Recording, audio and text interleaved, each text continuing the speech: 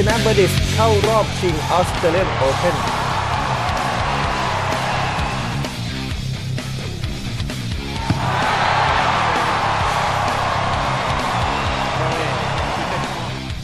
แมจิกแพ้7เกมติดหลังเปิดบ้านพ่ายบัคส์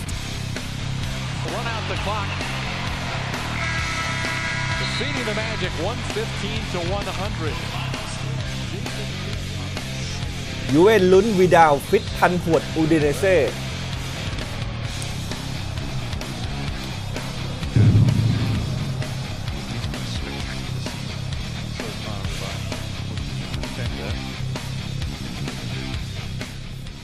ดีค่ะ สวัสดีครับ ค่ะ ขอต้อนรับคุณผู้ชมทุกท่านค่ะ เข้าสู่รายการ Sport Today Extra ประจำวันศุกร์ที่ 30 มกราคม 2558 ค่ะ พักเที่ยงรางวัลวันศุกร์แบบนี้นะคะ ก็มีความสุขกับการติดตามข่าวสารความเคลื่อนไหวในแวดวงกีฬากันกับเราสองคนค่ะ ดิฉันกิติลักษณ์จุลเสถียรค่ะ และคุณจิตรพลทรัพย์ขำค่ะ ครับอะแป๊บเดียวจะสิ้นเดือนแรกของปีแล้วนะคใช่รับค่ะไวเหลือเกินในช่วงนี้ก็ก็ถือว่าตลอดทั้งเดือนที่ผ่านมาก็หลากหลายชนิดกีฬานะครับ เข้มข้นมากโดยเฉพาะอย่างอ่าเทนนิสใช่สนามแรกค่ะของปีแป๊บแป๊บเหลืออีก 3 วันสุดท้ายแล้วใช่เหมือนกันนะครับค่ะตอนนี้ก็แต่ละคู่นั้นมีความสำคัญมากทีเดียว เช่นเดียวกับข่าวสารในเรื่องของการอัปเดตผลกอล์ฟวันนี้เรามี 3 รายการรวมไปถึงในช่วงเบรก2เนี่ยติดตามเรื่องความเคลื่อนไหววงการกีฬาพร้อมกับ preview เกมฟุตบอลที่จะมีถึงในคืนนี้ด้วยนะครับ เริ่มแรกเราไปกันที่ผลการแข่งขันเทนนิสแกรนด์ส a ลมรายการแรกของปีครับออสเตรเลียนโอเพนที่เมลเบิร์นพาร์คครับ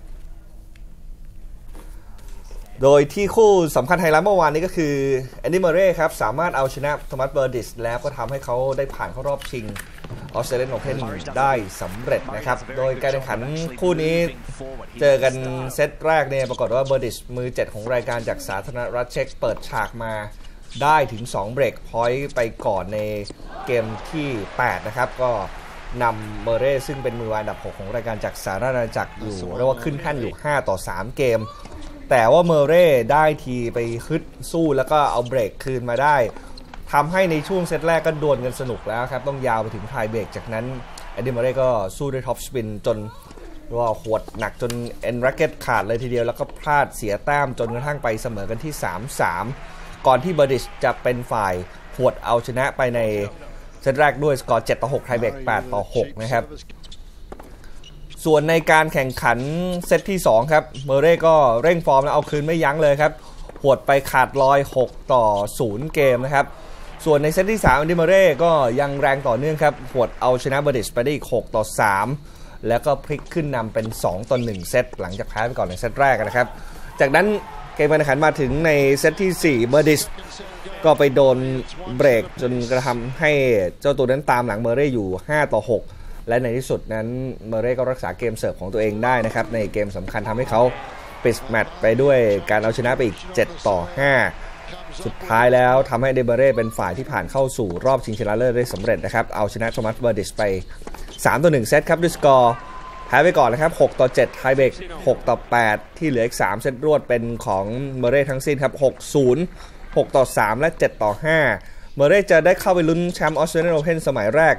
กับผู้ชนะคู่ระหว่างโนวัคจอโควิชมือหนึ่งของรายการจากเซอร์เบียเจ้าของดีกรีแชมป์4สมัย ซึ่งก็จะเล่นกับสตานิสลามวาวรินกาแชมป์เก่าเมื่อปีที่แล้วและเป็นมืออันดับ 4 ของรายการจากสวิตเซอร์แลนด์นะครับ ซึ่งก็คู่ระหว่างโนเล่กับสตานิสลามวาวรินกาก็จะลงแข่งกันในวันนี้นี่เองนะครับ จะได้รู้ผลว่าใครจะผ่านเข้าไปชิงกับแอนดี้เมอร์เร่ส่วนการแข่งขันคู่ที่กำลังลงแข่งอยู่ในตอนนี้ วันนี้ก็เริ่มมีรอบชิงชนะเลิศแล้วนะครับ เป็นของประเภทคู่ผสม เป็นการเจอกันระหว่างคู่มือวางอันดับ 7 นี่เป็นภาพสัญญาณสดๆ จากช่อง Fox Sport HD นะครับปรากฏว่าคู่มือ 7 ของรายการก็คือมาร์ตินาฮินกิส จากสวิตเซอร์แลนด์ในตอนที่หันกลับมาเล่นในประเภทคู่ผสมอีกครั้งนะครับ แล้วก็จับคู่กับลีแอนเดอร์เพสจากอินเดีย เจอคู่ของซูเหว่ยเซียะจากไต้หวันที่จับคู่กับพาโบลคูเอวาสจากอุรุกวัยสกอร์ล่าสุดนี่เซตแรกเป็นคู่ของฮินกิสกับลินเดอร์พีเอาชนะไปได้ก่อน 7 ต่อ 5 นะครับ ส่วนผลสดๆ ตอนนี้ในช่วงเซตที่ 2 เป็น คู่ของฮินกิสกับพีนี่ก็สถานการณ์ดีนะครับนำอยู่ 2 ต่อ 1 เกม แล้วก็ได้ได้เบรกเกมเสิร์ฟของคู่แข่งไปแล้ว 1 ครั้งด้วยผู้ชมติดตามการแข่งขันรอบรองชนะเลิศของคู่ที่เหลือได้ต่อทางช่อง Fox Sport HD หรือว่าช่องหมายเลข 680 ได้นะครับว่าสนุกสนานเข้มข้นเลยนะคะ จาก in การแข่งขัน lane. เทนนิสนะคะ เรามาต่อกันที่การแข่งขันบาสเกตบอล NBA กันบ้างนะคะสำหรับแฟนๆแมจิกตอนนี้ก็ลุ้นเหนื่อยหน่อยค่ะ เพราะว่าแพ้ 7 เกมติดแล้วนะคะ ล่าสุดก็ไปแพ้บัคส์ 115 ต่อ 100 ค่ะ o r l a n d o Magic ค่ะ แพ้ 7 เกมติดแล้วนะคะหลังเปิดทีม a m b a s s a d o r ค่ะพ่าย Milwaukee Bucks นะคะ คู่แข่งร่วมสายตะวันออกในการแข่งขันบาสเกตบอล NBA ช่วง regular season 2014-2015 เมื่อช่วงสายที่ผ่านมาค่ะค รึ่งแรกนะคะ เจอร์ริดเบย์เลสค่ะ ชู้ต 2 แต้มโชว์วินาทีสุดท้ายของควอเตอร์ที่ 2 ค่ะ พาบัคส์ขึ้นนำเมจิกไปก่อนนะคะ 59 ต่อ 44 คะแนนค่ะครึ่งหลังนะคะเบรนดอนไนท์ค่ะ ร่วมมือกับจาเร็ดเบย์เลสค่ะ พาบัคส์จบควอเตอร์3ด้วยการทำแต้มหนีห่างแมจิก 96 ต่อ 71 คะแนน ห่างไป 26 แต้ม25 ต่อ 25 แต้มนะคะ แล้วควอเตอร์สุดท้ายค่ะ วิกเตอร์โอลาดิโปค่ะไม่ยอมแพ้นะคะเร่งเครื่องยัดห่วงค่ะก่อนจะได้วิลลี่กรีนนะคะเพื่อนร่วมทีมที่ตัดสินใจชู3 แต้มช่วง 4 วินาทีสุดท้ายนะคะที่หวังจะพาแมจิกค่ะไล่ตีเสมอ แต่ว่าไม่ทันเวลานะคะจบเกมค่ะเป็นฝ่ายของบัคส์ค่ะที่บุกมาเอาชนะแมจิกไปด้วยสกอร์ 115 ต่อ 100 คะแนนนะคะ ทำให้ตอนนี้ค่ะเมจิกต้องพ่ายแพ้เป็นเกมที่ 7 ติดต่อกันแล้วค่ะ ด้วยเวลานี้นะคะมีสถิติชนะ 15 แพ้ 34 เกม ส่วนของบัคส์นะคะ ก็ชนะนอกบ้านเป็นเกมที่ 2 ติดแล้วค่ะ พร้อมกับสะสมสถิตินะคะ ชนะ 24 แพ้ 22 เกมค่ะสำหรับเกมนี้นะคะวิกเตอร์โอลาดิโปการ์ดของเมจิกค่ะ เป็นผู้เล่นที่ทำแต้มสูงสุด 21 แต้ม 5 รีบาวด์กับอีก 1 แอสซิสต์ค่ะ Run out the clock. Defeating the Magic 115 to 100. Jason Kidd. ดูผลการแข่งขันของคู่อื่นๆบ้างนะคะอินเดียนาเพเซอร์สค่ะ ก็เอาชนะนิวยอร์กนิกส์ไปได้ 103 ต่อ 82 คะแนนนะคะ แล้วก็ทางเมมฟิสกริซลีย์สค่ะ ก็เอาชนะเดนเวอร์นักเก็ตส์ไปได้ 99 ต่อ 69 คะแนนค่ะ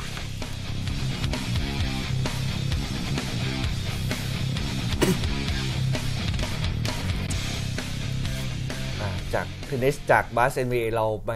ต่อกันด้วยผลการแข่งขันกอล์ฟนะครับ เรามีมาฝากกันถึงรายการจะเริ่มไปจากผลกอล์ฟรายการ West Management Phoenix Open ครับการแข่งขันในวันแรกที่จบไปเมื่อคืนที่ผ่านมาเป็นอย่างไรบ้าง ติดตามได้เลยครับ โดยที่กอล์ฟรายการนี้ครับก็ปรากฏว่าเป็นทางไรอันพาล์มเมอร์ครับที่ออกตัวได้ดีครับทำไปถึง 7อันเดอร์พาร์ก็ทำให้เขาขึ้นเป็นผู้นำเดี่ยวในการแข่งขันกอล์ฟพีจีเอทัวร์รายการ Waste Management Phoenix Open กันรวม 6.3 ล้านเหรียญสหรัฐ หรือประมาณ 201 ล้านบาทที่สนาม TPC Scottsdale ที่เมืองสกอตเดลประเทศสหรัฐอเมริกา เพราะว่าการแข่งขันวันแรกเนี่ยตีไม่จบนะครับ ต้องถูกยุติไปกลางคันไปก่อนเนื่องจากว่าท้องฟ้ามืดแสงสว่างไม่พอนะครับรายการนี้วันแรกเนี่ยเป็นของทางรันพาวเมอร์ครับ โปรเจ้าถิ่นที่จบรอบแรกตีเข้ามา 7 อันดับพานำหน้าอันดับ 2 ร่วมตอนนี้ก็มีด a น i e l แบเกอร์ครับ ที่ตีผ่านไป 16 หลุมคีแกนบรัดลีย์แล้วก็บับบ้าวัตสันเนี่ยนำทั้ง 3 โปรนี้อยู่สโตรกเดียวเท่านั้นครับ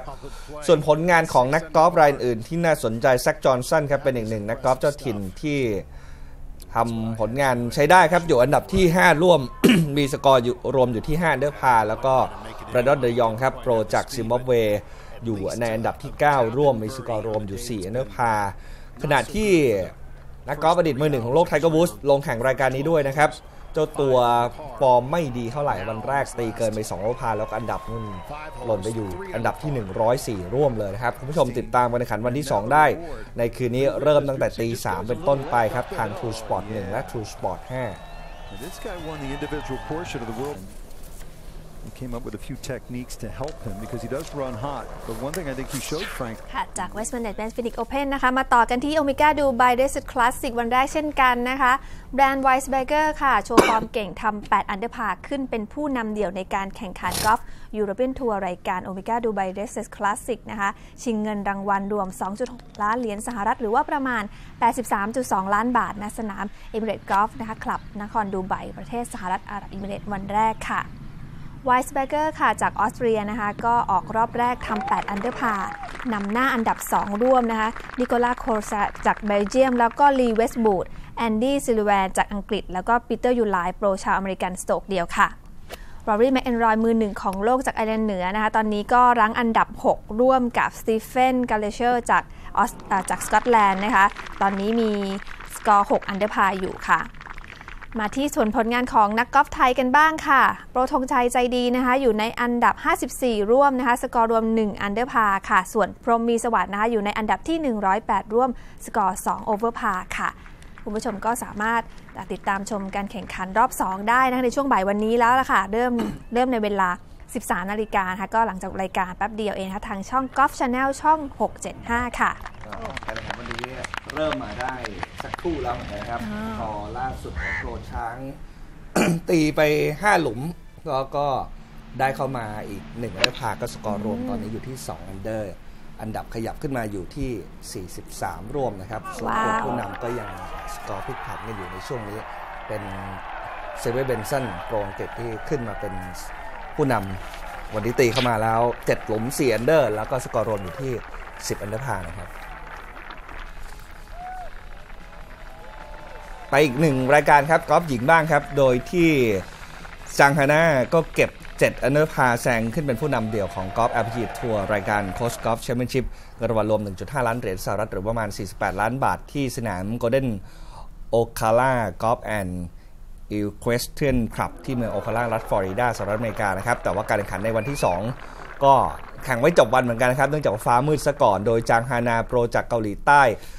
ซึ่งอยู่ในอันดับ 4 ร่วมของวันแรกออกรอบในวันที่ 2ทำเพิ่มมาถึง 7 อันเดอร์พาร์ทำให้สกอร์รวม 2 วันอยู่ที่ 12 อันเดอร์พาร์นำหน้าอันดับ 2 คือสเตซี่ลูอิสโปรคู่แข่งเจ้าถิ่นอยู่ 4 สโตรกด้วยกันนะครับส่วนผลงานของนักกอล์ฟสาวรายอื่นครับลิเดียโคสาวดาวรุ่งจากนิวซีแลนด์ตอนนี้รั้งอันดับ 3 ร่วมกับ อัซซาฮารามูนยอซจากสเปนทำสกอร์รวมได้ 7อันเดอร์พาร์ส่วนมือหนึ่งของโลกก็คือพาร์คอินบีจากเกาหลีใต้ตกไปอยู่อันดับ 45 ร่วมครับ ตีเกินไป 2 โอเวอร์พาร์ผลงานนักกอล์ฟไทยมีหลายรายเหมือนกันครับ ให้ติดตามโมรียาจุฑานุกาลขยับขึ้นมาอยู่อันดับ 16 ร่วม มีสกอร์รวมอยู่ 2 อันเดอร์พาร์พัชรจุฑาคงกระพันธ์ตีไป16 หลุม รั้งอันดับ 23 ร่วม สกอร์อยู่ที่ 1 อันเดอร์พาร์ และเอรียาจุฑานุกาล ขึ้นมาอยู่อันดับ 32 ร่วมนะครับ สกอร์รวมอยู่ที่อีเวนพาร์ ผู้ชมติดตามการแข่งขันกอล์ฟหญิงรายการ Coates Golf Championship ได้การแข่งขันในรอบที่ 3 จะมีในคืนนี้เริ่มตั้งแต่ตี2เป็นต้นไปทางช่อง Fox Sports 2 นะครับ